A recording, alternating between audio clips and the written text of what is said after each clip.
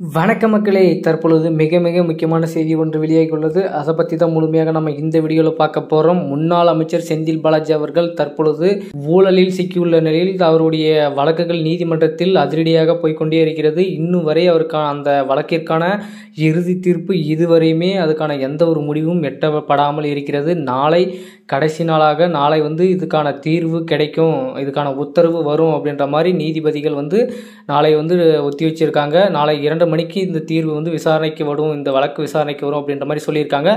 பொறுத்திருந்து பார்க்கலாம். செந்தில் பாலாஜியின் வழக்கில் என்ன திருப்பங்கள் மாற்றப்பட போகுது? செந்தில் பாலாஜிக்கு எதிராக தீர்ப்பு வரப்போகிறதா? இல்லை அமலாக்கத்துறைக்கு எதிராக தீர்ப்பு வரப்போகிறதா? முழு விளக்கமும் நாளை கண்டிப்பாக தெரியும். இது குறித்து வந்து என்ன அப்படின்னு பார்த்தீங்கன்னா செந்தில் பாலாஜிக்கு ஜாமீன் வழங்காமல் மீண்டும் வந்து அவங்களை வந்து கைது செய்து சிறையில் அடிக்கலாம் அப்படின்ற மாதிரி ஒரு தீர்ப்பு வந்தால் கண்டிப்பாக செந்தில் பாலாஜியின் மனைவி இவ்வளோ நாள் கஷ்டப்பட்டு போட்டப்பட்டிருந்த வழக்கு எல்லாமே வெயினாக போகும். அந்த வழக்கு வந்து அவங்களா போட்டாங்களா? இல்லை வந்து யாராச்சும் சொல்லி தூண்டி இது போட்டாங்களா அப்படின்றது என்னென்னு ஒன்றுமே புரியல. செந்தில் பாலாஜிக்கு கண்டிப்பாக புழல் சிறையில் தான் இடம் அப்படின்ற மாதிரி தற்பொழுது இணையதளத்திலும் சரி சவுக்கு சங்கர் அவர்களும் அதிரடியாக ப- இணையதளத்தில் பதிவுகளை பதிவிட்டு வருகிறார்.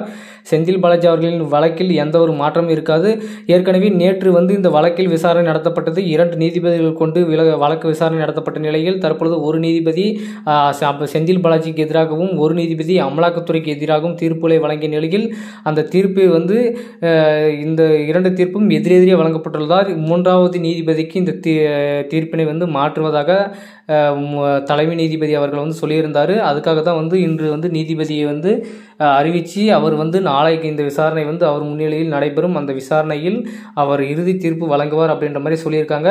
பொறுத்திருந்து பார்க்கலாம். செந்தில் பாலாஜி விடுவிப்பாரா? இல்லை செந்தில் பாலாஜியின் மனைவி மீண்டும் கண்ணீருடன் மீண்டும் மேல்முறையீடு செய்வாரா அப்படின்றத பொறுத்திருந்து பார்க்கலாம். கண்டிப்பாக செந்தில் பாலாஜி செய்யப்பட்ட வழக்கு ஊழலுக்கான அனைத்து சாட்சிகளையுமே அமலாக்கத்துறை கையில் வைத்திருப்பதாகவும் கூடிய விரைவில் செந்தில் பாலாஜியை நாங்கள் கைது செய்தே ஆக வேண்டும் அப்படின்ற மாதிரி தான் எங்களுக்கு சாதகமாக நீதிமன்றத்தில் வழக்கு விசா வழக்குக்கான தீர்வு வந்து கண்டிப்பாக கிடைக்கும் அப்படின்ற நம்பிக்கையோடு அமலாக்கத்துறையும் செந்தில் பாலாஜி அவரது மனைவி ஆட்கொள் மனு ஒன்று கொடுத்திருக்காங்க. எனது கணவரை சட்டவிரோதமாக கைது செய்து துன்புறுத்துவதாகவும் அந்த வழக்கில் வந்து மனுதில் வந்து செந்தில் பாலாஜி மனைவி குறிப்பிட்டதும் தகவலுக்கு வந்து குறிப்பிட்டது முக்கியமான கருது கருதுவதாகவும் தகவல் வெளியான நிலையில் கூடிய விரைவில் செந்தில் பாலாஜி அவர்களை வந்து அமலாக்கத்துறை தூக்குவது தான் அவருடைய முழு நோக்கமாகவும் இருக்கிறது. அவர்களை தூக்கினால் அடுத்து தமிழகத்தில் எந்தெந்த அமைச்சர்கள் வந்து மாட்டப் போகிறாங்க அப்படின்றது தெரியல.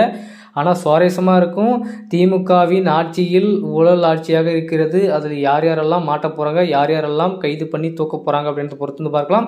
செந்தில் பாலாஜியின் இறுதி தீர்ப்பு குறித்து உங்களுடைய கருத்துக்களை சொல்லுங்கள் செந்தில் பாலாஜி அவர்கள் வெளியே இருந்தால் நல்லா இருக்குமா? இல்லை புலல் சரிக்கு கொண்டு போனால் நல்லா இருக்குமா அப்படின்றத உங்களுடைய கருத்துக்களை கமெண்ட் வாயிலாக கூறுங்கள் மக்களை.